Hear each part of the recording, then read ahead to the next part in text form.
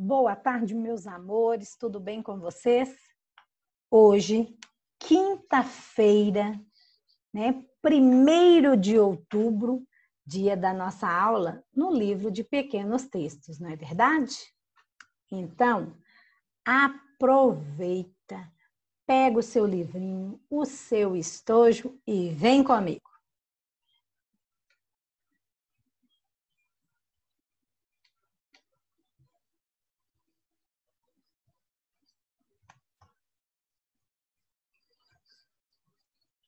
Vou aumentar a tela um pouquinho. Então tá aí, ó. Data de hoje que você vai registrar no seu caderno, 1 do 10 de 2020. E viva outubro! Chegamos nele, né? Aula 78. 78. Livro de pequenos textos. Combinado? Conforme vocês já sabem, na aula de quinta-feira, trabalhamos textos e depois criamos um pequeno texto, ok? E registramos no nosso livro. Hoje, o livro que eu vou ler para vocês é um livro diferente. A menina que esquecia de levar a fala para a escola. Nós estamos trabalhando escola em história, em geografia, vamos falar em ciências, em português. E olha ela aí, Será que tem como ir para a escola e não levar a fala? Vamos descobrir juntinhos. Olha a carinha dela. Mochilinha nas costas, lacinho no cabelo e lá vai ela. Levava tudo: apontador, caderno, lápis, a mala, que é a mochila. Só não levava o principal, a fala. Esquecia? Onde? Em casa, talvez. Quanta timidez. Quando diariamente alguém pedia, nunca era com ela.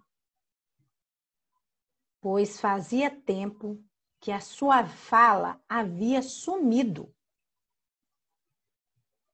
Como assim? Sumiu a fala? Ficou muda? Será que tem jeito? Ela era a menina que se esquecia de levar a fala para a escola. Será que quando ela ia à feira, levava a fala na sacola? Olha a sacola dela. Um papagaio comendo banana?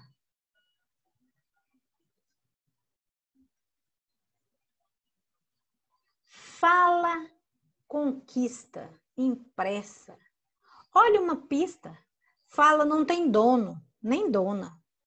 Fala é de quem quiser pensar, de quem quiser ouvir, de quem quiser se lambuzar de tanto falar. Falar é mais que sorrir, mais que chorar, mais que dançar. Falar é a melhor maneira de se expressar. Blá blá blá blá blá blá blá blá blá blá blá blá blá blá blá blá blá blá Gol! Quanta gente falando. E olha a cara da menina no meio desse tanto de gente. O que, que será que ela estava pensando? Será que ela era feliz? Será que ela era triste? Será porque ela não queria falar? Já imaginou como as palavras ficariam tristes se não tivesse ninguém para falar?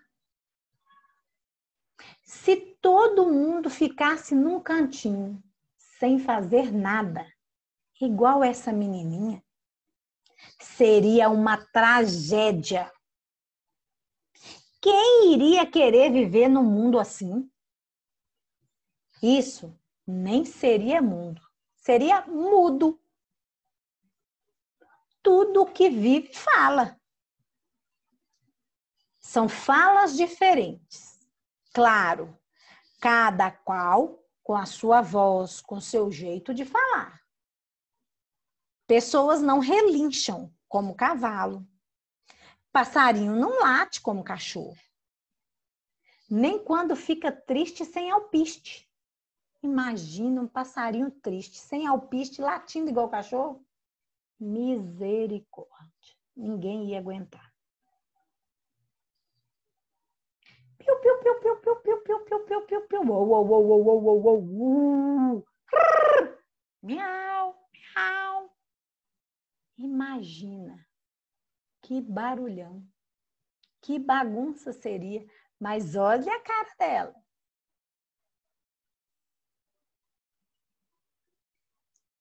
Mas criança, além de correr, tem outra grande especialidade, a fala, não é verdade? E fala bastante. Eu que o diga nas aulas, não é verdade? Professora esperta já aproveita isso no primeiro instante. Criança tem outra vantagem. Fala o que sente. Isso é verdade. Olha eu aí, gente, tocando o violão e as crianças cantando e dançando. E olha ela, prestando atenção. Diferente de muita gente grande, que às vezes fala e não diz. Mas defeito de adulto, deixa para lá.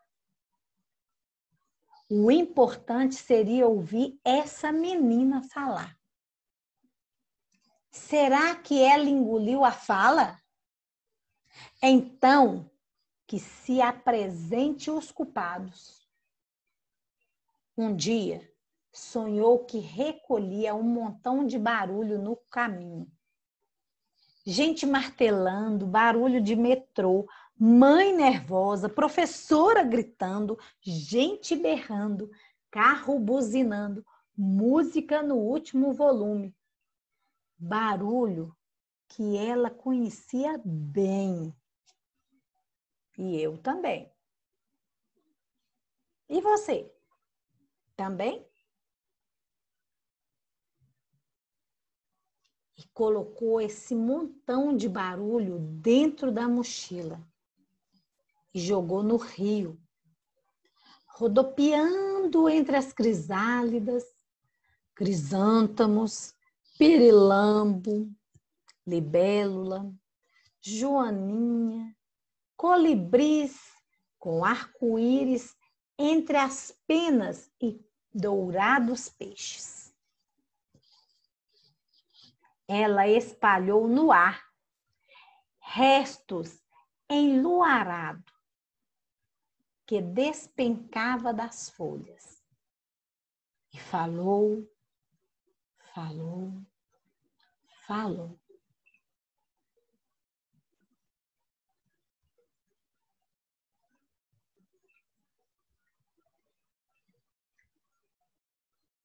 Blá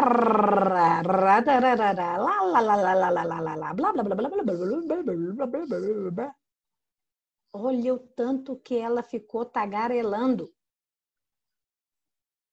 Conversou com os beija flor, com a lua, com os peixes a nadar, mas a mochila estava no fundo do rio,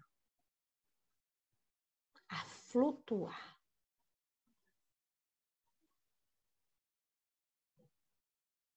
Que pena! Acordou e foi com a sua mudez para a escola. Esta menina, além de sonhar, precisa falar. Desculpa. Olha o passarinho. O papagaio tagarela estava preocupado com a menina que só queria sonhar. Mas falar que era bom, não. E você? na sua aula. Você é como a menina que fica só a observar? E nos seus sonhos você é a tagarela? Ou na vida real você é tagarela e no seu sonho você é mudo? Às vezes nem sonha. De tanta bagunça que faz, fica cansado até para sonhar. Alguns são tagarelas. Falam na aula o tempo inteiro, mas participa quando precisa. Outros nem falam nada. É difícil arrancar até mesmo um sorriso do rosto deles. E eu fico daqui, tentando fazer sorrir, ou até mesmo falar para participar das aulas com todo o carinho que eu tenho para dar. Eu quero é que juntos nós possamos somar as nossas energias. Seja eu daqui, você daí, mas juntos nós possamos conectar. Falar quando necessário, cantar quando solicitado, escrever quando for pedido e sonhar sempre que necessário. Sonhar com um mundo melhor. Sonhar não paga, não cobra. Então, aproveita para sonhar e desabrochar todo o carinho que você tem guardado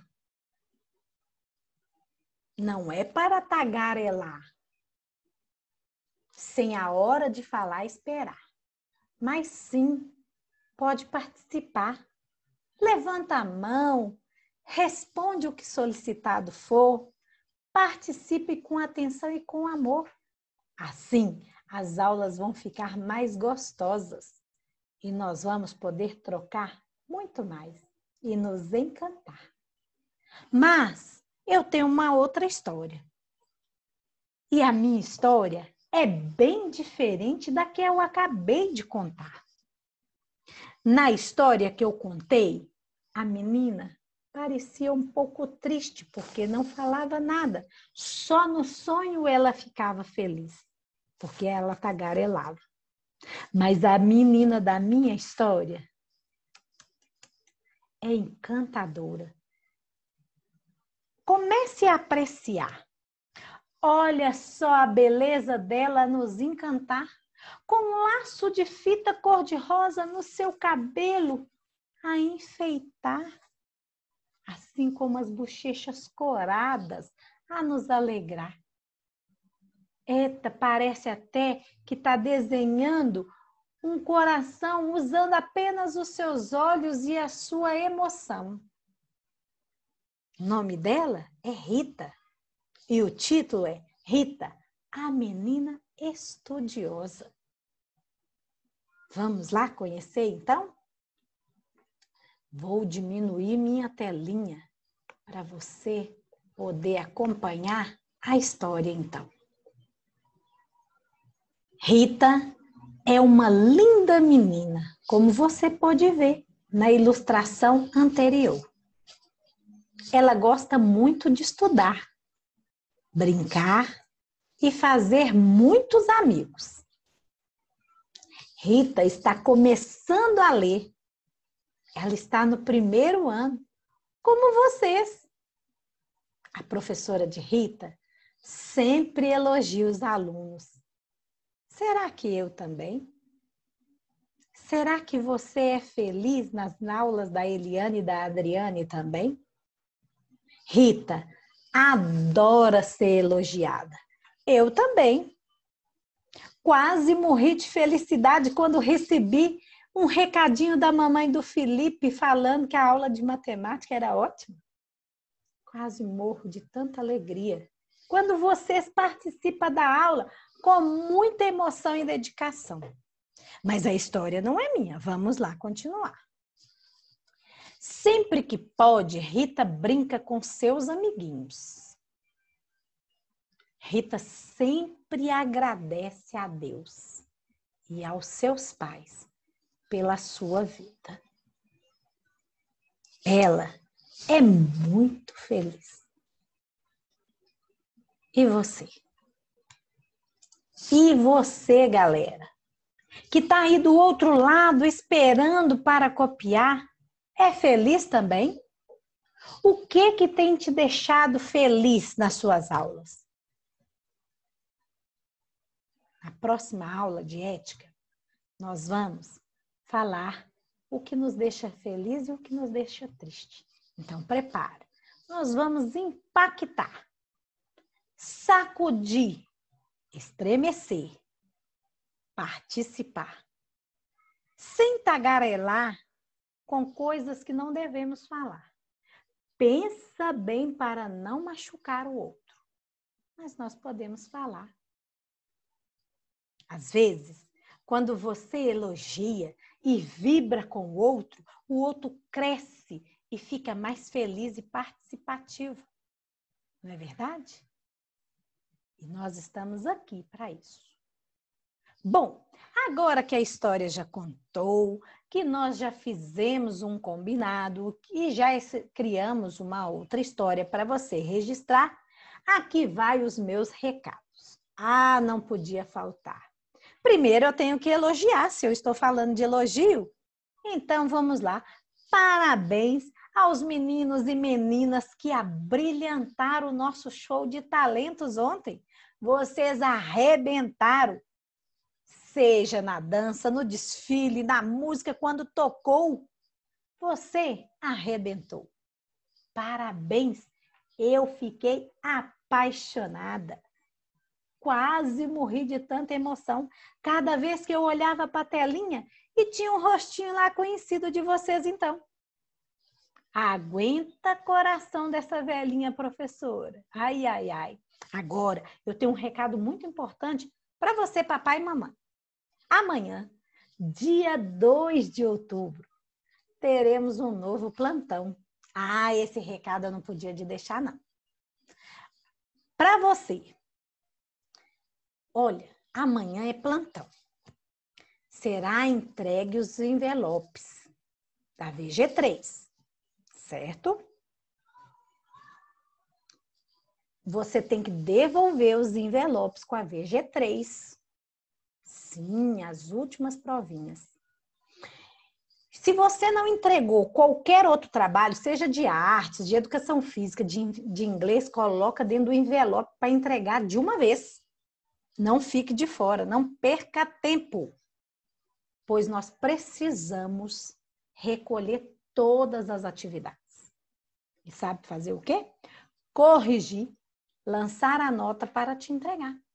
Porque nós precisamos de ter nota para passar. Ah, verdade.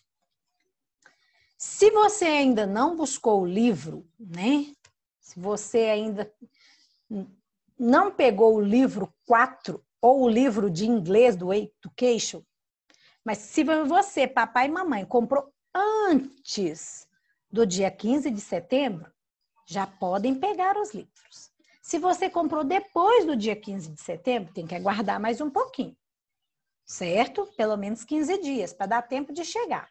Neste plantão também estará funcionando o setor administrativo, caso você tenha alguma coisa para acertar ou precisa resolver alguma coisa com esse setor do colégio. Ele estará aberto para te ajudar a solucionar. Não fique de fora. Olhe tudo, tudo na sua casa. Se você achar as suas atividades avaliativas, coloque no envelope e corra logo amanhã para entregar. Combinado? Então tá aqui dado o meu recado. Eu vou ficando daqui, você vai ficando aí. Um beijo estralado, um abraço apertado e até amanhã para a aula de matemática, se Deus quiser. Tchau, turminha. Fica com Deus.